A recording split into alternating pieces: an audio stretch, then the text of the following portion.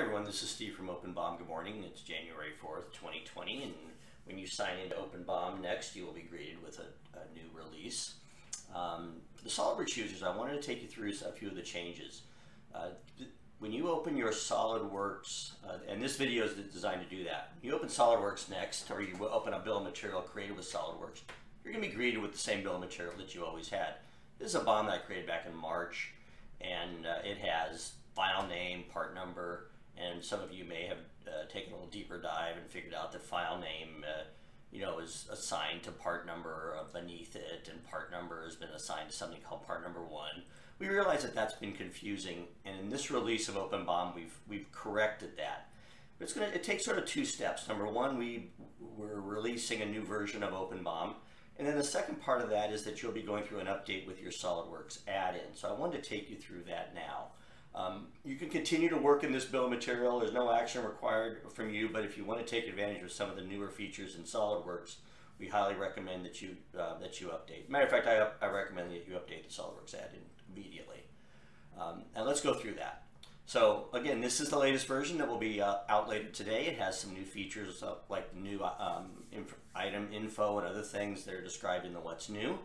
Um, I'm not going to focus on that though. What I am going to focus on is SOLIDWORKS. So when you start up SOLIDWORKS and open that, that assembly, in this case I've got this clutch pack, you're going to see a new button here for Update Add-in. So I'd like you to go ahead and click that. We're going to move to the latest version of, of the add-in. So um, let's go ahead and do that. This is an unscripted video, so we're just going to get, uh, we're just going to kind of get what we get here. Let me go ahead and close SOLIDWORKS. Through the update.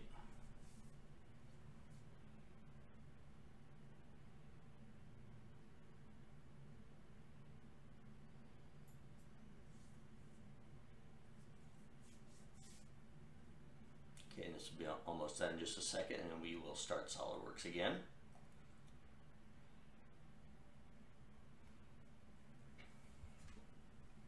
Hope everyone's having a nice uh, new year.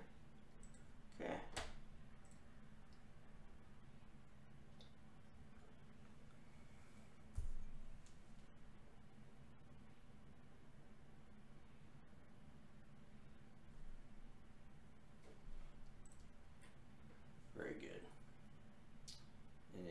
Will see the latest uh, add-in of, uh, of OpenBOM. And let's just kind of remind ourselves of what our bill of material, uh, what our bill of material looked like.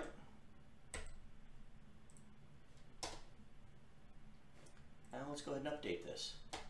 I'm just going to click the, uh, you know, I'll, I'll check my settings. Let's go ahead and update this BOM.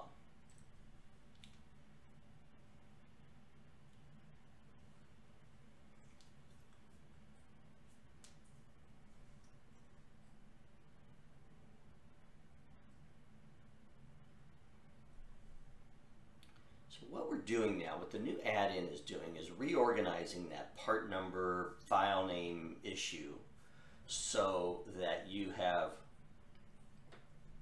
now we're going to have a bill of material. I might have, have some new uh, uh, properties or things in here as well, okay.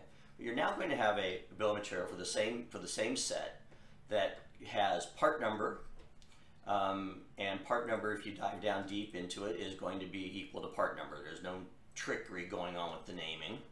Um, it's going to have file name, and likewise, likewise file name, we dive down into it, is file name. Again, no reassignment there. And then also we've added another column for the configuration name, and the configuration name is, is the configuration name. So before we used to lump those together kind of in a single property, and, uh, and now we don't. So uh, as you assign catalogs and do other things, you'll see that this part number column is going to be consistent. So I encourage you to uh, update to the latest version of the SOLIDWORKS add-in uh, immediately. All your data will be is safe and will be reorganized in a manner that's much easier to use. I hope this is helpful. Um, of course, we look forward to hearing you from you at support at openbom.com. Thank you.